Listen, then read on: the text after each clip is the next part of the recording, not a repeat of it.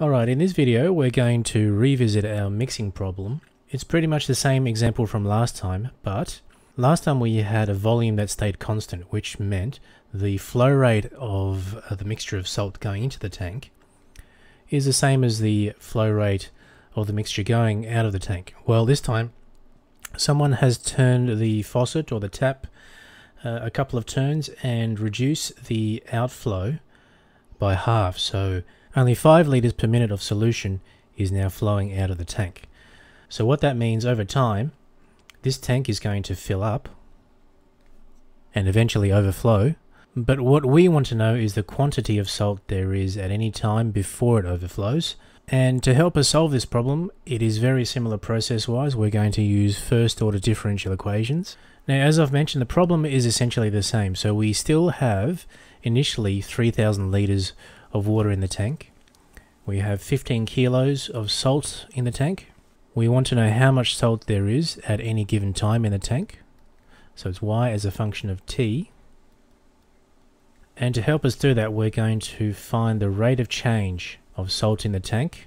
At any given time, we're going to find a, uh, a differential equation that involves the rate of change. So let's now set up our first order differential equation the rate of change dy dt, dy on dt, is exactly the same as before.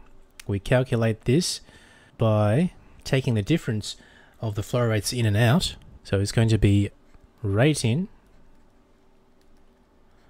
minus the rate out. In this case, the rate in is exactly the same as before.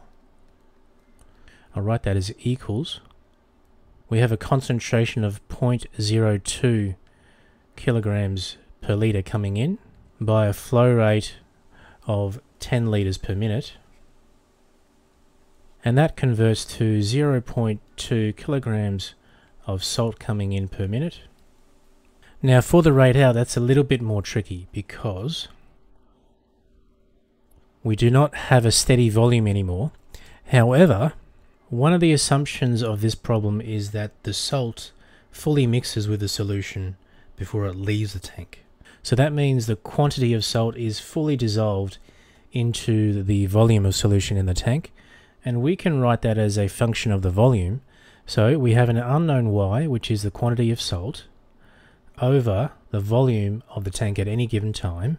So that's the fully mixed solution and it's flowing out at a rate of 5 litres per minute. So instead of this being a constant 3000, we have to now find an expression for the volume as a function of time. And to find the expression for the volume, we can largely do this by inspection. Because we have a initial volume that we start off with, which is 3000 litres. We have a certain volume flow rate into the tank, and we have a certain volume flow rate out of the tank which will serve to counter the increase in the volume of the tank.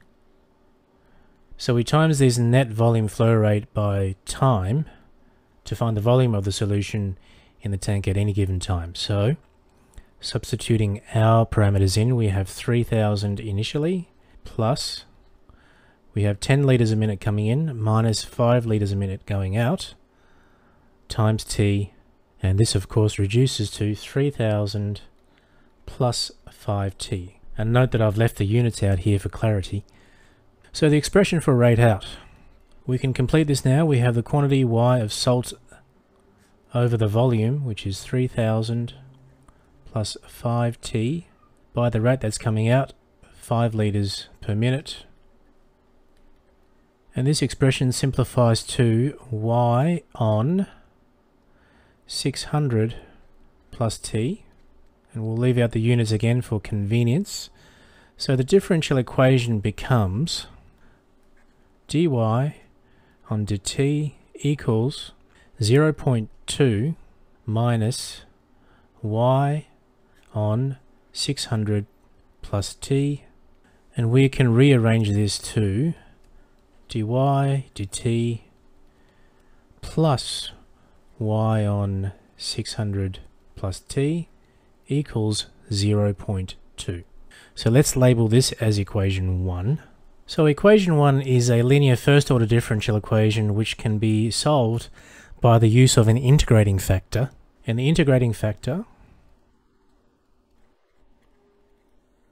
let's call it i, is equal to e to the integral of 1 on 600 plus t with respect to t. So it's the integral of the coefficient term in front of the y term here. So the integrating factor equals e to the log of 600 plus t, which simply reduces to 600 plus t. So what we can do now is to multiply through by the integrating factor. So if we multiply i by 1, this implies we have 600 plus t by dy dt plus y equals 0.2 by 600 plus t. And when we use integrating factors, the left-hand side reduces to 600t, which is the integrating factor, 600 plus t that is, by y, and it is the derivative of this group. So when we apply the product rule to 600 plus t by y, we should get back to the left-hand side that we started with. So that's the ingenuity of integrating factors. And uh, let's simplify the right-hand side, which is now 120 plus 0.2t.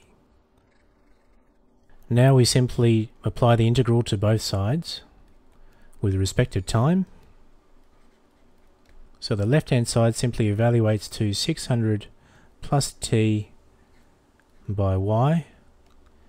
The right hand side evaluates to 120 t plus 0.2 t squared on 2. And because we're integrating as indefinite integrals, we always include the integration constant c plus c. And to isolate y on its own, we simply divide both sides by 600 plus t. So we have 120t plus 0.1t squared plus c all over 600 plus t.